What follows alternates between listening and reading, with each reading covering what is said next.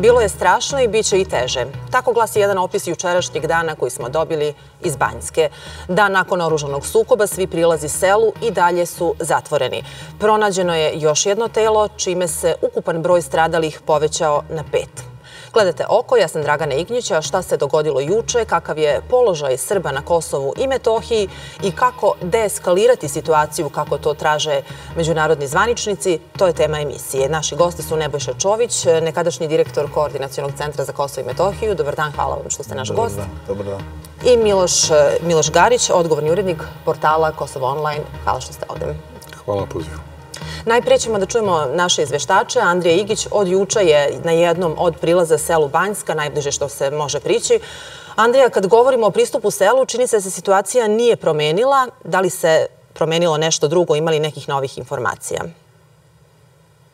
Pa evo, nećete verovati, evo možda pre 30 sekundi od minut, možda se situacija na terenu ipak e, menja.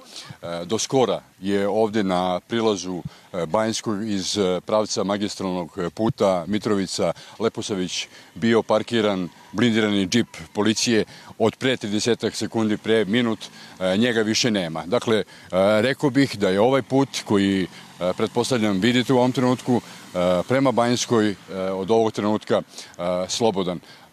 Tokom dana Banjska je bila blokirana, policija nije propuštala nikoga, jedino osobe u slučajevima nužne lekarske pomoći.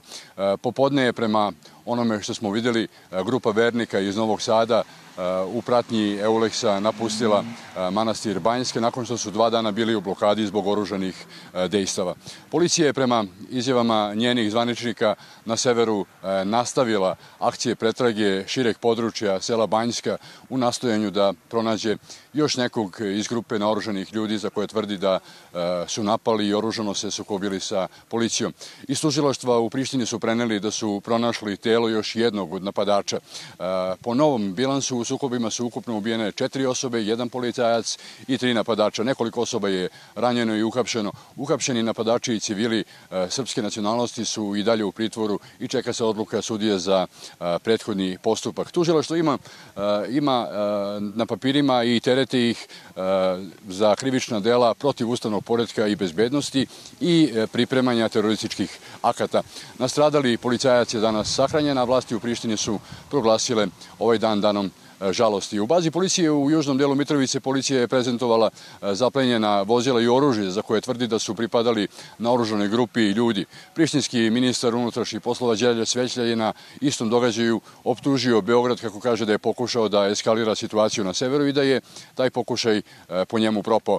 Direktor policije Gazment Hođa navio je da su osobe među 30 njih koje policija sumniči za napad, a koje nisu neutralisane, uspele da odu peške sa prostora oko manastira Banjska. E, Oruženih dejstava od sinoć ovde nema, ali je bezbednostna situacija i dalje napeta. Policija iz časa u čas e, je danas oklopnim vozilima ulazila i izlazila iz Banjske. E, šta se u selu zaista dešava, nismo imali tačnu predstavu, a od ljudi koji žive u selu saznali smo da se redko ko odluče da izađe iz svojih kuća. Nastava u selskoj školi je u prekidu, a do kada će biti zavisi od ove akcije policije. Kada policija bude saopštila da je završila sa svojom akcijom pretrage, pretpostavljamo da će i nastava biti e, ponovo uspostavljena. Hvala Andrije na ovom izveštaju. Dakle, vesti, ako možemo tako da kažemo, da od pre eto, nešto više od minut je bar jedan od tih pristupa selu čini se odblokirana. Sada, e, posle Banjske, idemo do Jarinja. Tamo je naš izveštač Dušan Jemuović. Dakle, od juče su zatvoreni prelazi Brnjak i Jarinje iz smera centralne Srbije ka Kosovu i Metohiji. E, da li se i danas odvija saobraćaj samo u jednom smeru?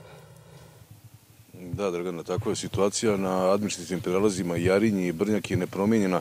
Pa evo više od 36 sati, pa se još uvek može samo izaći sa kosmeta. Putnički automobili, kamioni, autobusi i pešaci ne mogu da uđu na Kosovo i Metohiju. Tokom čitavog dana sugrađani su prilazili pripadnicima kosovskih policijskih snaga i pokušavali da dobiju e, bilo kakvu informaciju i mi smo to učinili, ali e, bez uspeha, to su rekli i sugrađani, ali podvlače da im nije jasno zbog čega je e, takva odluka Prištine, zašto nije e, skroz zatvoren prelaz, nego samo eto pustili su e, izlaz sa Kosova i Metohije. E, tako da nemamo još uvek čak ni nezvaničnu informaciju kada će kosovska policija otvoriti prelaz ka Kosmetu. Trenutno ulazak je moguć na administrativnom prelazu Merdare, koje je odavde udaljeno nekih dva i po sata vožnje preko Kopaonika i Kuršumlije. Primetio sam i da za razliku od današnjeg dana na Jarinju nema više automobila sa sugrađanima koji čekaju neku promenu odluke, ali je i dalje parkirano nekih desetak kamiona. Dragana? Dušane, hvala na ovom izveštaju. Ti naravno pratiš situaciju i dalje. Zahvaljujem. Dakle, evo čuli smo naše reportere. Je vama, gospodine Čoviću, danas nešto jasnije nego što je bilo juče? Šta se dogodilo u stvari u Banjskoj? Pa prvo bih iskoristio ovu priliku da izjavim saučešće porodicama poginulih bez obzira na njihovu i nacionalnu i versku pripadnost, jer mm, izgubiti svaki život, to je velika nenadoknadiva šteta, a pogotovo ako je sve ovo verovatno moglo, ne verovatno, nego gotovo sigurno moglo da se izbjegne. Pa nije mi, nije mi nešto posebno jasnija situacija u odnosu na juče, e, gledajući neko iskustvo koje smo prošli, ja direktno bavići se problemima na Kosovo i Metohiji, još tamo i pre 2004. a naravno i 2004. 17. marta kad smo imali onaj, onaj namešteni incident i provokaciju sa, u selu sa Čabrom, sa onom albumskom decom. Znate kako, i tada kao predsjednik koordinacijalnog centra i potpredsjednik vlade i tada sam imao vrlo, vrlo jasnu i otvorenu sumnju da i za ovakvih stvari ne možete, da ovakve stvari ne mogu da se dogode baš bez stranog faktora, stranih bezbednostnih službi. Ni tada nismo dokazali, ne znam da li će se i sada nešto dokazati, jer imate puno nelogičnih elemenata. Jedan od ključnih nelogičnih elemenata je da se ovo dogodilo baš sada, kada je Kurti sa njegovim pristupom i politikom bio gurnut gotovo da, metaforički kažem, u rupu. U situaciji kada je jedan dobar deo kolektivnog zapada počeo da prepoznaje ko je faktor nestabilnosti na prostoru Kosova i Metohije, ko ne želi dogovor, ko ne želi da ispoštuje sporazume od 2013. godine pa na ovamo, a to je to se sve vezivalo za, za Kurtija. I sada dođete na jednu, ovakvu situaciju gde se sve obrnulo i gde ste imali enormnu, neuobičajenu veliku efikasnost u svemu tome. Enormnu efikasnost tih specijalnih policijskih snaga, enormnu efikasnost KFOR-a koji se postavio vrlo brzo, ali e, da napravi, e, e, da zaštiti eventualno granicu ili administrativnu liniju. Oglašavanje OEF-sa Devenport se nije oglasio zadnjih godinu dana oko svih ovih incidenata motivisanih na etničkoj mržnji prema srpskoj nacionalnoj zajednici, A onda su se pojavio niz e, političara iz Evrope koji su onako ekspresno, kao da su im bile pripremljene izjave. Ovo znači, dosta usložnjava situaciju, vidjet ćemo šta će dalje, naravno, istrage pokazati i vidjet ćemo i šta će naše bezbednostne strukture na, na, na ovu temu reći. Nastavit ću, svako vi ste nekako otvorili sve ono što praktično planiramo u narednih 20 minuta. Govorim, samo pitam i vas, Miloše, pošto vi, vaš portal sabira, da tako kažem, sve vesti sa Kosova i Metohije. Evo samo ja još jednom da ponovim, dakle, ovo što je kolega Andrija rekao, eh, uklonjena ova jedna blokada, ovaj jedan automobil koji je jedan samo pristup selu blokirao, ali samo selo i dalje blokirano, čisto da, da ne bude dileme. Dakle, šta, šta vi, kojim vi informacijama raspoložite? Možete vi da kažete nešto više o Imate li možda nekih možda više saznanja?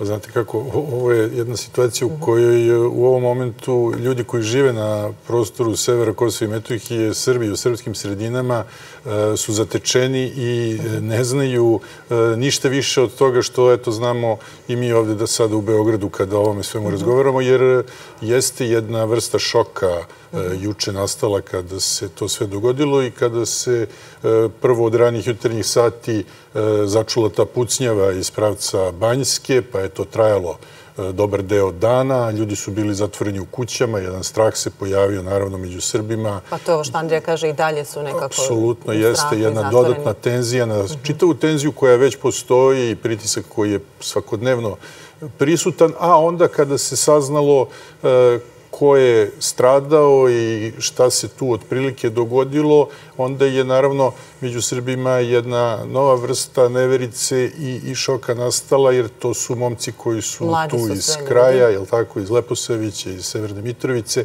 I nedostatak nekakvih e, ipak ključnih detalja u celoj priči je ono što nas e, sada ipak limitira u onome što možemo da kažemo i da ocenjujemo i da e, donosimo nekakve zaključke. Postoji puno i dalje, što reče gospodin Čović, nelogičnosti i bojim se da će te nelogičnosti i ostati, jer teško ćemo utvrditi kako se to u gluvo doba noći u pola tri baš dogodi da se na prilazu u selu Banjska, u blizini manastira, e, desi to što se desi, ko je prvi zapucao, e, kako se dogodio taj okršaj. A mislite li da ćemo to saznati šta se tačno dogodilo? Mislim da nećemo, jako je teško da će to biti otkriveno. Sve ono što se iza toga dešavalo ukazuje da je ipak akcija kao da je bila pripremljena. Ta brzina kojom su se pojavili e, svi ti kosovski specijalci, e, napravili obruč, onda kfor koji se odmah tu stvorio, Pa onda čitava ta uloga Hvora i Euleksa. Znate, ja ne znam u ovom momentu šta radi Euleks na, na Kosovu. Koja je njihova uloga? Da li oni znaju? Oni verovatno ispiju kafe po tim kancelarijama i puštaju da se na severu Kosova e, dešavaju ove stvari pred njihovim očima. Kfor takođe jedna vrlo interesantna situacija da su skroz sklonili glavu od nečega što se zbiva ispred njih, od pucanja i snajpera, od brutalnog, e, od brutalne egzekucije nad Srbima koji su e, se tu zatekli u toj grupi. Jednostavno ostavlja se očigledno prostor Albinu Kurtiju da je on taj faktor koji kontroliše bezbednost na severu Kosova, iako znamo da je nedavno, na primjer, generalni sekretar NATO pakta Jens Stoltenberg rekao da specijalna policija na severu e, može da bude samo u koordinaciji, tako, sa kvorom. E, ta koordinacija koja očigledno postoji je nešto što nam govori da je e, ideja da se, da se ova politika Albina Kurtija produži i da se njemu omogući da on na ovaj način i dalje nastavi sada sa još jačim pritiskom. A e, događaji su se desili u momentu, evo malo pre smo baš to pomenuli, kada je Albin Kurti bio zaista pritisnut e, gomilom nekakvih e, sobstvenih pogrešnih poteza nečim što je i kod zapadne javnosti dovelo do toga da je on označen kao taj faktor nestabilnosti i onda se odjednom dogodi ovako nešto što njemu sad otvara prostor da on može da e, izlači e, jedini dobitak iz svega ovoga, da poentira i da nastavi još žešće, verovatno, e, sa svojom politikom u srpskim sredinama i to je ono što je sada dodatni strah i neizvesnost e, među Srbima. Šta je ono što je sve još na raspolaganju Albinu Kurtiju od daljih pritisaka na njih i istovremeno od onih e, centara na zapadu koji su verovatno nezadovoljni tim argumentima s kojima Srbija barata kada govori o duplim standardima e, vezano za primjenu međunarodnog prava u vezi sa Kosovom i u vezi sa Ukrajinom. E, ovo je sada neka vrsta njihovog onako vraćanja e, u igru na jedan način gde mogu na Beograd da naprave jedan dodatni pritisak nakon ovakvih događaja. A šta onda može da bude posledica Sve to govori da je iza svega ovoga e, očigledno nešto mnogo e, složenije i komplikovanije nego što mi to sada možemo da znamo i da tvrdimo.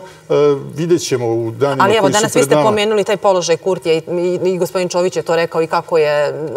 On je bio taj koji je dobio kritike za, kako je to već objašnjeno u Briselu, za nesaradnju i tako dalje. Ali mi danas imamo, ne znam, kaže, na primjer, Peter Stano, port parol Evropske unije, da su to bile samo mere protiv vlasti u Prištini, da nije to pa trajno i kaže, nisu to sankcije, može da ih uvede ako treba i Beogradu takve mere. Pa znači, imamo ovaj sastanak Lajčaka sa predstavnicima Francuske, Nemačke i Italije, prisustvoje i Escobar. I sad, u tom, kad imamo takvu situaciju u Briselu, šta može da uradi vlast u Beogradu ako ima ove uplašane ljude na Kosovo i Metohiji o kojima govori gospodin Garić. Pitam vas, gospodine Čoviću, i zbog nekog vašeg iskustva ranijeg, evo i vi ste pomenuli tu 2004. Pa šta može da se uradi? Prvo, malo pre pomenut generalni sekretar NATO-a, treba ga direktno pitati je li on odobrio da Rosu sa dugim cevima uđe i da rešava ovo što se dogodilo. Znači, ovo što se dogodilo je posljedica neprekidnog pritiska, maltretiranja, provokacija, i življavanja prvenstveno na Srpskoj nacionalnoj zajednici na prostoru Kosova i Metohije.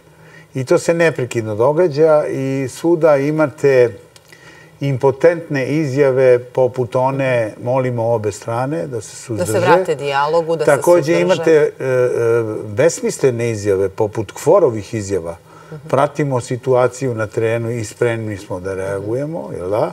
I to se ponavlja unazad 20 i kusur godina, a realna situacija na terenu se neprekidno menja. U kom smislu? Menja se u smislu E, dodatnog i stalnog pritiska na Srpsku nacionalnu zajednicu sa jedinstvenim ciljem etničkog čišćenja. To se dogodilo i 2004. E, godine, 17. Mhm. marta. Naravno, šta sada treba da radimo? Treba hitno da zahtevamo da svi Srbi budu bezbedni u sredinama u kojima žive. I to ne samo na severu Kosova. A ko da ih zaštiti? Kvor? Reći ću vam. A to ne samo na severu Kosova i Metohije, već i u južnom delu ko da ih zaštiti? Onaj ko je dužan da ih zaštiti i da obezbedi bezbednost, mir, stabilnost na prostoru Kosova i Metohije, u prvom redu, to je KFOR. Nekada je tu bila još i umnik policija, nije sada nema, ali tu je sada EULEX, koji bi pored još bezbednostne funkcije treba malo da se pozabavi i pravosudnim funkcijama, jer vi imate dole eklatantne, e, da ne kažem, e, pravosudne postupke protiv Srba, i tendencijozne i nameštene u funkciji svih ovih provokacija, neprekidnog zastrašivanja i pritiska na srpsku nacionalnu zajednicu. Na sve to treba da se uključi i OEPS. Zadatak OEPS-a nije da trči i da aplaudira. Njegov zadatak je da obezevidi vladavinu prava. Iako je neko trebao da se pita i za izbore i postavlja izborne standarde i obezbeđuje izborne uslove, to je bio OEPS i to mora hitno da se obezbedi na prostoru Kosova i Metohije. A jel mislite da je sad trenutak kad imamo ovu situaciju da se govori o... Ovo će biti u duhu albanske propagande. Mhm. Ovaj događaj će toliko biti zloupotrebljen da ćemo mi imati i već imamo velike probleme. Pogledajte e, koji političari su e, iz Evrope bili najglasniji odmah u momentalnom optuživanju Beograda, bez ikakve provere. Bez ikakve provere. To je onako frontalni napad krenuo na Beograd. Znači, ali niko nije ni znao, ni ti zna danas da li tu ima određenih e, kontakata. Naravno, oni mogu da se spakuju i da se skuvaju. E, ko je sad ovim slučajem dobio? Dobio Kurti i dobili su mentori koji su e, e, projektanti ovakve nakazne tvorevine koju oni zovu državom Kosovo i koja im se sada obija u glavu. Kroz kršenje međunarodnog prava u smislu onoga što se događa u Ukrajini. A šta mogu Srbi sada urade u tom trenutku? I mislim na Srbe na Kosovu i Metohiji, mislim na vlast u Beogradu. Šta može sad da uradi u ovom trenutku ako vi kažete situacije mi. Ako ja nisam dovoljno rekao šta može da pa, uradi, znam šta može, ali prosto koliko je moguće da... Da bude maksimalno aktivna u tom delu, ništa drugo ne može da uradi. Ali Kao što ni 2004. nismo mogli pa, ne Ali videli ste reakcije, evo sad to mogu i vas da pitam, Miloše. Mislim, videli ste sad ove reakcije koje dolaze iz Nemačke, iz Francuske, iz Sjedinjenih država. To su ove, Američka reakcija, po mom mišljenju, je bila... Mhm. Blinkenova reakcija je bila u ovom duhu, molim obe strane da se Da se vrate i da se nastavi. Evropske mhm. reakcije, naročito predstavnika Nemačke i naročito mhm. predstavnika Velike Britanije, su vrlo interesantne za proučavanje. Kad sve to povežete sa njih izjavama ove Britanke koja je pričala o crkvama našim, o oružju, znate, ja nikad nisam vidio blindirani tamić, a prošao sam ražne sukove. E, drugo, zapitanost mora da postoji, čekaj, čekaj, pa ovi koji momci koji su uradili to ili došli do tog incidenta su e, nasilno ušli u svoj manastir. Zašto? Zašto su se vernici iz Novog Sada zabarikadirali Razumete, ima puno stvari koje treba da se slože. Inače, pronaći velike količine oružja, pronaći velike količine opreme na prostoru Kosova i Metohije, pa to vam je, verujte mi, ko dobar dan. Takav sličan problem, samo što naše strukture bezbednostne reaguju pravovremeno i otkrivaju, imate i na jugu centralne Srbije malo, malo, pa ćete pronaći da su zakopali ovde, uradili ovde i tako dalje. Miloše, kako vi da shvatate ovo sad prikazivanje ovog oružja, evo što čemu je i Andrija govorio i ovo što kaže gospodin Čović, kakav je sad prosto manevarski, da upotrebim taj termin, prostor Srbije u datim okolnostima? Pa nema nikakve dileme da će Albanci ovo da probaju maksimalno da iskoriste i sve to što izgovaraju u Prištini stvarno treba uzeti sa maksimalnom rezervom. I oni su i do sad otkrivali nekakvo oružje raznorazno u nekakvim automobilima, pravili su nekakve istrage raznorazne i nije se to ispostavljalo kao pouzdano ništa do sada. Tako da i u ovom slučaju sve što saopštava kosovska policija i ovaj njihov ministar Svečlja, zaista treba uzeti sa rezervom, jer pazite, u ovom trenutku e, na Kosovu i Metohiji red i zakon sprovode ljudi koji ispod e, policijskih uniformi nose majice sa oznakama UČK i velike Albanije, znate. I pevaju pesme, jel? I pevaju pesme na društvenim grupama, kače fotografije u kojima direktno pokazuju mržnju prema Srbima. Ne radi se o sto odsto ljudi koji su takvi, ali jedan značajan, ogroman deo je upravo na tom ekstremizmu odrastao i na tom ekstremizmu e, razmišlja kada se bavi tim svojim policijskim poslom e, u srpskim sredinama. I onda e, zaista moramo da uzimamo sa rezervom sve što zvanično saopštavaju iz, iz kosovske policije, a da će oni maksimalno probati da ovo da iskoriste, da sada dodatni pritisak na Srbe napravi, pa svakako da hoće. Ta istraga će sada da se produži tako što će oni vratno da probaju da uđu u svaku srpsku kuću za koju pomisle da im je sumnjiva, da tamo vrše pretrese, da traže nešto. Oni mogu, njima je omogućeno, e, njima su otvorena vrata upravo e, sa, tog, e, sa tih mesta na zapadu, odakle je svih ovih meseci unazad upozoravano navodno da treba da dođe do eskalacije. Ali evo vidimo šta se zbiva ta taktička neslaganja, ja bih tako nazvao, između Sjedinjih američkih država i zemalja eh,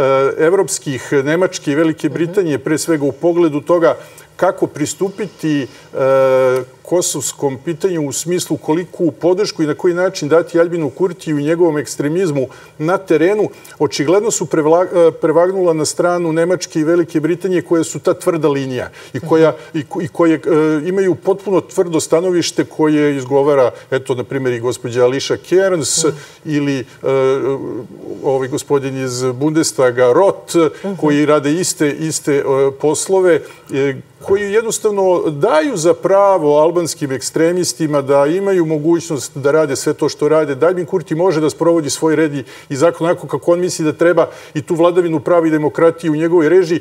Ali pazite, vladavinu pravi i demokratiju u ovom trenutku na Kosovu sprovodi Albin Kurti čovek E, koji kao uzore ima Isu Boljetinca, Envera Hođu, Adema Demaćija. Dakle, e, Evropa, ta velika Evropa, demokratska, dala je e, pravo da ovakvu jednu bahatu strahovladu na Kosovu sprovodi čovek koji to nikako ne bi smeo da dobije priliku.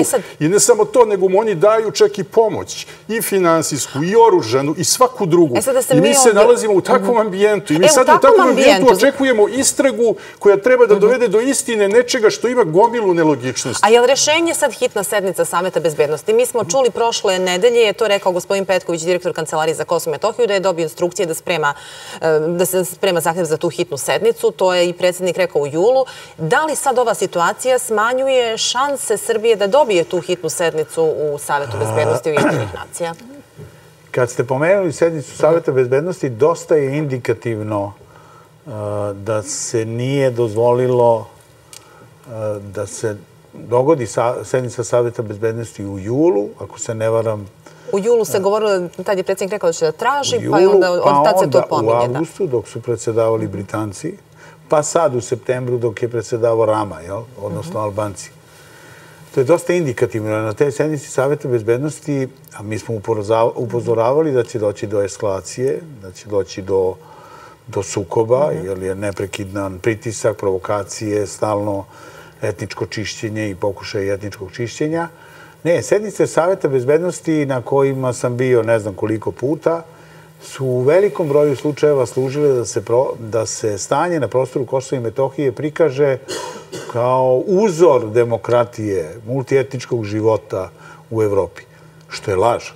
Znam, ali ja sam vas to pitala zato što jasno vam je zbog Rusije, zbog Kine, zbog njihovih stavova koji nisu suprotni njegovi. Ja mislim da će, ne date mi da završim rečenicu. Naravno, izvolite, izvinite. Ja mislim da će e, sada u sljedeće predsjedavanje Brazila i mislim da će se doći do sednice Saveta bezbednosti. Ali znate, šteta se, ogromna šteta se već dogodila. I sad će se raspravljati i pričati na toj sednici. I ovim što su oni uradili, što se dole desilo sad na Kosovo i Metohiji, padaju sve priče oko sporazuma i ostalih stvari. Potpuno je skrenuta pažnja na nešto sasvim drugo. Kad god smo imali situaciju da Albanci treba da sprovedu neki sporazum, dogodio se incident na prostoru Kosova i Metohije. Ne samo sa ovim sporazumima. Mora da se shvati da je to tehnologija. Tehnologija njihovog ponašanja uz podršku međunarodnog faktora, odnosno tih njihovih glavnih mentora koji sve ovo sagledavaju. I potpuno im je, potpuno im je jasno, njihovo tolerisanje, plašim se da će dovesti do još gore situacije. Ovo ponašanje i Kvora i Euleksa, pa neće smiriti situaciju. Napravit će još dodatne incidente, ne do Bog. Razumete? Meni je samo nerazjašnjeno odakle i kako i koliki stepen ne znam kako to da nazovem, neodgovornosti, naivnosti. Na kraju krajeva oni su ljudi platili to svojim životima, su ovi mladi ljudi, mislim, zašto, kako, ko ih je, kako je, razumem i njihovo e, nemanje više e, damara da izdrže sve te i napade i pritiske, ali ovo sada nije smelo da se dogodi, međutim dogodilo se i sad moramo to donosimo i ono što očekujem, to je našu unutrašnju političku stabilnost. Ako mi krenemo da se nadgornjavamo ovde politički, to će biti jako loše. Ja vidim da je to već počelo. Šta kažete vi, gospodine Gariću? Evo, stradali su ljudi, sad treba nekako u situacijama kad imate ljudske žrtve, a mi sad govorimo o nekoj, ovo što pozivaju već predstavnici evropskih zemalja vratiti se dijalogu. Koliko je to iluzorno i koliko uopšte ima smisla sad govoriti o tome u ovom trenutku? Šta očekujete? U dijalogu u ovom trenutku zaista je nemoguće govoriti. Ja bojim se da će iz Brisela da stigne nekakav poziv da se razgovara sada o mhm. nekim predlozima francusko-nemačkim i ostalim. Zaista mhm. u ovakvim okolnostima je to prosto neverovatno očekivati, a to je zapravo jeste ideja da Albin Kurti na terenu sprovodi ove svoje operacije nasilne i da dovodi do žrtava, a mi da pregovaramo i da prihvatamo njihove uslove pritisnuti brigom za bezbednost Srba na Kosovu koja je realna i koja je ogromna. I to je ono što se zapravo događa. Albin Kurti je ovo priželjkivao, Albin Kurti je ovo gradio mesecima unazad. Albin Kurti je stvorio ovu situaciju koja se u nedelju dogodila, gde su ljudi, e, Srbi na severu Kosova, pritisnuti kao u onom e, ekspres loncu. Ja bi sad mogla da citiram jednog našeg sunarodnika sa Kosova koji je rekao na severu je e, apartheid, a južno od Ibra je geto. Pa ali za to nisu plaćeni ni Kvor, ni mhm. Umnik, ni Eulex da gledaju i vide, pošto niko od njih nije tako naivan. Šta se događa? Da se događa apartheid na jednom delu naše okupirane teritorije. Kad ste pomenuli pregovore, da, pregovori kako da ne. Međutim, pregovori u ovim uslovima, gde vi niste stavili pod kontrolu Kurtija, a oni ga vode, su besmisleni. Znate, deeskalacija nasilja. Dajte pomerite 25%, pomerite 5%, daj da izađu iz grada, daj da Srbi prišu peticiju za izbore, a ne da njegovi tamo neki... Pa daj, uzmimo samo što je bilo u junu. U junu je Evropska unija strogo zahtevala od Kurtija da ispuni one zahteve u smislu deeskalacije, da povuče ove lažne gradonačelnike, da povuče specijalnu policiju, e, da krene u realizaciju izbora. On je uradio sve suprotno. On ništa toga nije on je dovukao još više specijalaca na sever. On je e, naterao gradonačelnike da ostanu i sprečio ih da daju ostavke.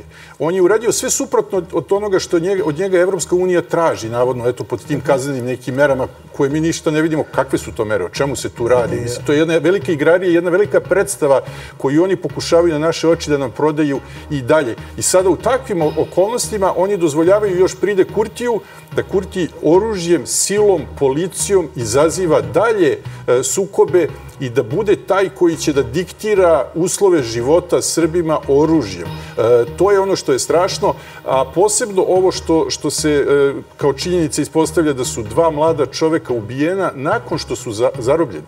Oni su zarobljeni pa ubijeni. To je nešto što bi morala istraga ta nekada u Prištini pod međunarodnim okriljem da ustanovi, da se vidi kako funkcioniše ta vladavina prava u koju se oni kunu i koju hvale u Prištini. Dakle, valjda ljudi imaju pravo da na život, osnovno pravo. Ne možete zarobljene ljudi ubijati tek tako naknadno. Pucati iz snajpera, okretati glavu, puštati da se to zbiva. Dakle, jedna velika tragedija se dogodila dogodila, valjalo bi da se sada na zapadu pronađe dovoljno savesti da se spreče dalje tragedije i da se pronađe pre svega rešenje da se mir sačuva. A onda ćemo vidjeti za dijalog. Ako ga žele, sačuvat će mir pošto Kvintu, znači imate još jedan element tehnologije. Da i sutra je taj sastanak predsjednika Srbije sa Kvintom. Imate još jedan element tehnologije, a to je sporazumi, e, potpisivanje sporazuma, pregovori, razgovori, a na terenu sasvim nešto drugo. Nažalost videli smo. Promena realnosti na terenu, a onda putem sile vas dovode u situaciju da vi morate... To nije ohrabrujuće što kažete, ali pratit ćemo svakako situaciju i nadamo se nekim konkretnim odgovorom i u narednim danima. Hvala vam najlepše na ovom gostovanju. Hvala i vama što ste gledali oko. Ostanite uz RTS. Više informacija iz Banjske i u našem dnevniku. Prijetno večer.